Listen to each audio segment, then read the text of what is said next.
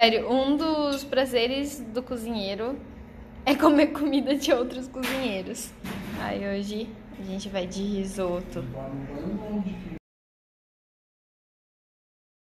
Ó, a Gi e o Guto do Nutriconceitos mandaram aqui pra mim esses hambúrgueres que eles estão fazendo. Tem lentilha, grão de bico, feijão fradinho e soja. Não tem farinha. Vou fazer um agora. Ó, fiz esse daqui de lentilha pra mim. É só dar uma grelhadinha de um lado, uma grelhadinha do outro, fica assim, ó, bonitão.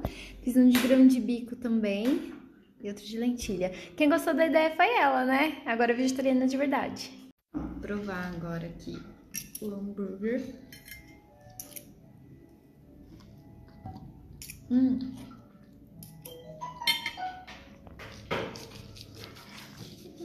Muito bom.